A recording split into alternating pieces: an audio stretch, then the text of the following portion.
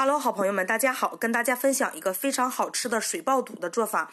个人做法啊，不比专业，但是呢非常好吃。这个水爆肚呢也叫毛肚，呃，百叶怎么叫都可以啊。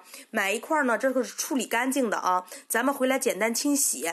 锅里烧水，水烧开之后呢，咱把这个肚呢放入锅内，给它烫一下啊，就二十秒左右，你不要烫时间很长，烫老了呢它就硬，你也咬不动。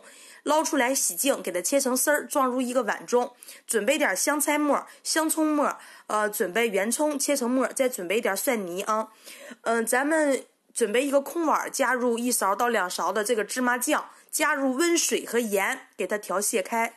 再准备一个空碗儿，咱们呢加入两勺到三勺的鲜酱油，再加入一些陈醋或者是这个香醋，加入少许的白糖。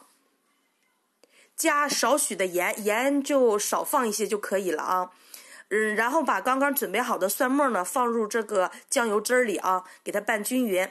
然后呢，咱把调好的那个芝麻酱啊一大半儿倒入这个碗中，然后葱花、香菜末、圆葱啊放入上去，然后把调好的那个蒜酱汁儿倒入上去，嗯，最后呢再淋上一层芝麻酱。